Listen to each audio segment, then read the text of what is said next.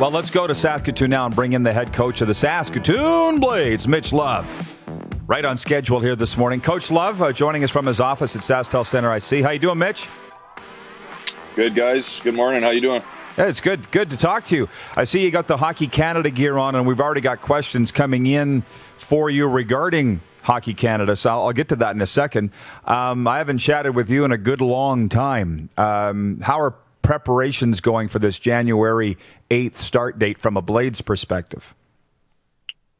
Well, first off, Rod, I just want to applaud you and and uh, and Darren there with the um, you, you, know Clark Monroe. He, that guy is a detailed man there. The the the itinerary I got for this call was was top notch. So if if uh, you're not paying him enough there, tell tell Clark he can come join us with the Blades. We call him the Hound Dog, uh, by the way, because oh, yeah. Ron MacLean says he's a Hound Dog. You know what I'm saying? So there you go. You just got a huge eruption of applause from the dog pound back here, Mitch. so there you go. That's so awesome. Are you? How's your schedule? Like, was it hard to fit in this interview this morning, or you know, are, you, are your guys around? What's life like?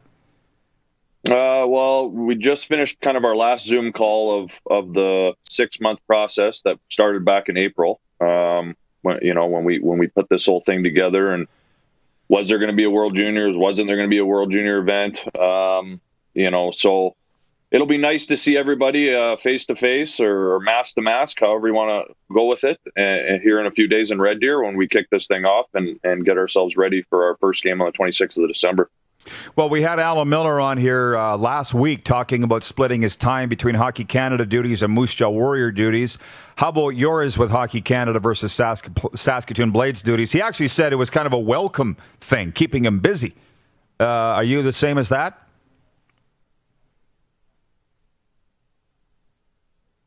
Sorry, Rod, I didn't catch that last question there. I, I don't know. are you? Uh, how are you split? How are you splitting you your time? How are you splitting your time between Hockey Canada duties and Blades duties? Well, I just uh, about a week ago I completed my 14 day quarantine coming from the United States, so I had plenty of time to, uh, you know, really dive into you know preparing our staff here in Saskatoon for uh, our Western Hockey League season, which will start with a December 27th training camp.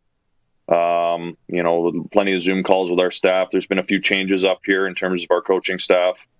Um, so it's been busy in that regard, and then obviously balancing our, our, commitment level here with Hockey Canada and getting ready for the World Juniors. Um, but you know, as a hockey coach and having this long, lengthy layoff, uh, no different than the players. We're just itching to get back at it, and, and being busy is a, is a good thing this time here. Did you think you'd ever get the chance to coach Kirby Dach again? Probably not. You know, when when we didn't see him back here last year as an 18 year old, um, I, you know, and obviously this pandemic really hit everybody hard there in March.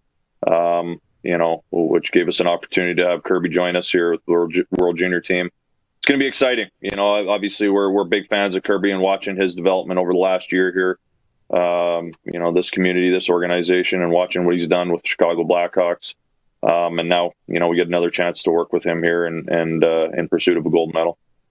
You know, obviously you have thoughts on the WHL Junior A tr- player transfers. Everybody's got some thoughts. Uh, your goalie's playing in Yorkton. Um, I've heard from a lot of the Junior A guys. I haven't heard from a lot of the Dub guys. What's your take on that situation and this one in a once in a lifetime situation we're in?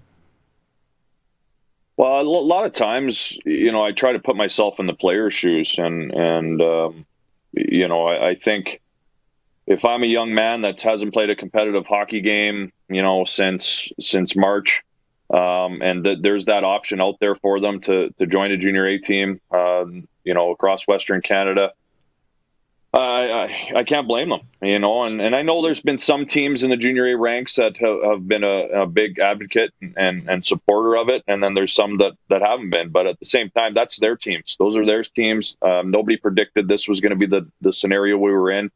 Um, you know, with our push, uh, our start date being pushed back to, to December and January, so um, you, you got to play hockey. You got to get that, you know, that competitive edge back in your game. You got to have game reps. Uh, you can only do so many skill uh, drills uh, on, a, day-to-day basis uh, for, for eight months in an off season. So, you know what? Uh, it's been kind of cool to watch some of our guys play junior A and just see where their games are at and, and whatnot online. How much is this season starting in January, Mitch, going to change the way you know the season usually plays? Like I'm trying to project, you know, what's going to happen, what the hockey's going to look like, you know, what teams might, you know, be at the top like we do every year. We saw it in baseball with the kind of the sprint that they had, right? And the Jays ended up doing really well in that. What changes from the hockey perspective as opposed to a normal season? Well, I think there's obviously going to be lots of you know COVID protocols that are going to be put in place by you know the health authorities and and the Western Hockey League and the CHL. So you know, of course, our organization has done a great job to this point of you know um, prepping us as much as they can on the information they have and what it's going to look like. Um, you know, I know our, our support staff here is going to be working their tails off to make sure this area is clean and, and doing our part and obviously educating our players on what that looks like.